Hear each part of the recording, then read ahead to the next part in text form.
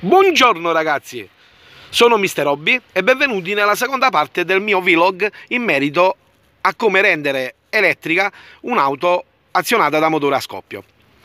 Ecco qua, vi ricordate nel primo video? Vi ho fatto vedere eh, quali pezzi avevo creato in tutta semplicità eh, per apportare le dovute modifiche al mio automodello, in questo caso un automodello della Mantua Model Rally Race. Ecco, qui possiamo vedere il motore perfettamente installato sul telaio del, dell'automodello. Ecco la flangia fissata con tre punti. Primo, secondo e il terzo è qui dietro qua.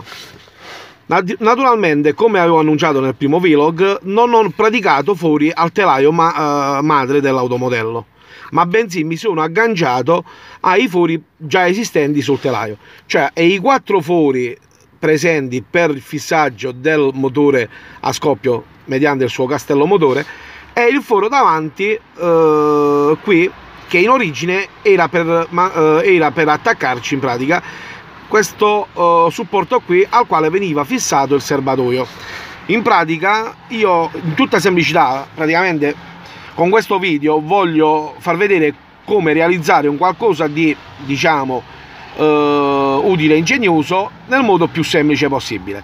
Allora in questo caso essendo questa un on road in questo caso oppure una rally game cioè questa è una rally game eh, in questo caso per fissare la batteria che adesso è sotto carica perché l'ho appena provata in questo caso um, ho messo del feltro uh, forte qui sulla uh, paratia, la fiancata di protezione.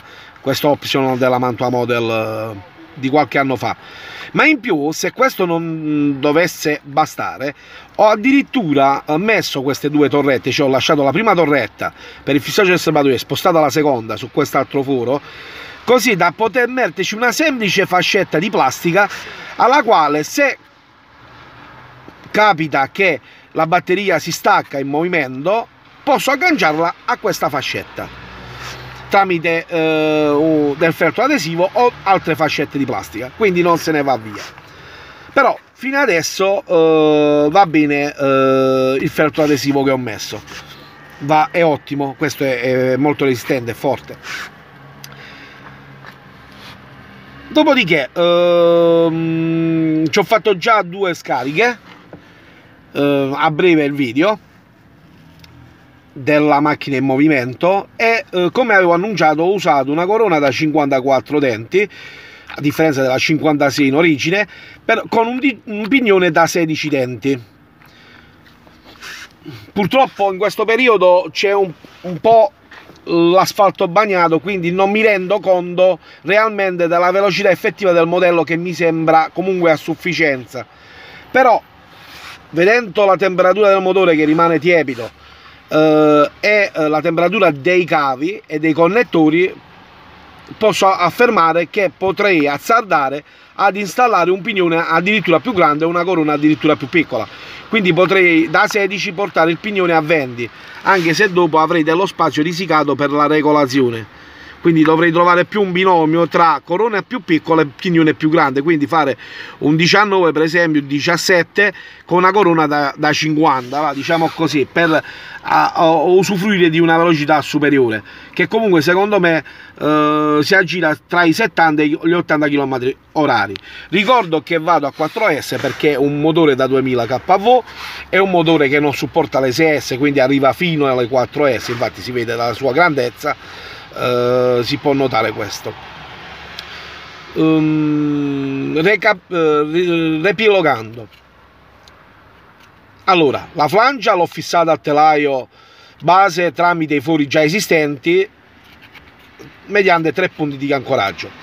E il motore tramite un'altra flancia eh, nata per, su, mh, mm, come supporto per i motori elettrici questa qui è fissata su questa piccola flancia di basamento tramite due perni eh, i quali passano su due fori leggermente asolati per permettere eh, la giusta calibratura tra pignone e, e corona.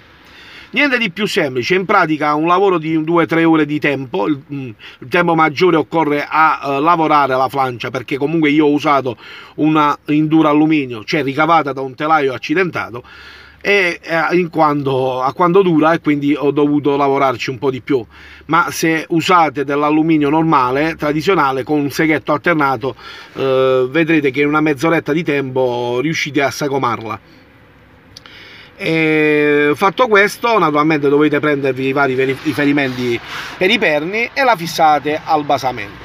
Dopodiché non c'è nemmeno bisogno di mettere, di praticare i due fori tramite, tramite trapano a colonna, basta un po' di, eh, diciamo, di, mh, mm, di, accortezza e i fori li potete praticare direttamente con la flancia ancorata al telaio. Quindi prendete i segni eh, e con un trapano praticate i due fori direttamente con la flancia attaccata al telaio, così da sbrigarvi prima. Naturalmente prestate un po' di attenzione eh, nella precisione mh, mm, durante l'esecuzione del foro. Mi devo ritenere alquanto soddisfatto, sono riuscito a rendere elettrica la mia rally race della Mantua Model, eh, prima avevo problemi di carburazione in base al meteo, la benzina, le candele, adesso tutti questi problemi sono spariti, ho fatto due eh, collaudi, due scariche, ho effettuato due scariche di batterie, eh, sto usando delle Zippi 3007 ma ormai, oramai non saranno nemmeno più 3007 eh, per 15 minuti. Mi, mm, mi, garantiscono circa 15 minuti di eh, sgommate. Non vi resta che rimandarvi alla terza parte del video che verrà pubblicata a breve eh, che praticamente andremo a vedere eh, la macchina in movimento prima di salutarvi vi faccio vedere come ho installato i vari componenti elettronici. Il servo comando l'ESC l'ho messo qui. Lo potevo anche mettere qui ma qua ho preferito mettere l'interruttore. Qui naturalmente c'è la scatoletta con la ricevente ecco l'antenina. E mm, devo dire che la, uh, questi modelli di Mantua Model si prestano molto uh, facilmente all'installaggio di motori elettrici. Infatti se vedete uh, la batteria viene qua e mm, quindi i componenti sono ben distribuiti sull'automodello. Ok ragazzi? Eh, a presto con il mio ultimo vlog in merito a come rendere brushless o elettrica un'auto RC ciao a tutti da Mister Hobby e mi raccomando iscrivetevi al canale per seguire le mie avventure e se volete rimanere sempre aggiornati spuntate sulla campanellina. Quindi quando andiamo in diretta eh, con gli amici del team eh, oppure quando vengono caricati nuovi video, siete i primi a saperlo. Ciao a tutti da Mister Hobby.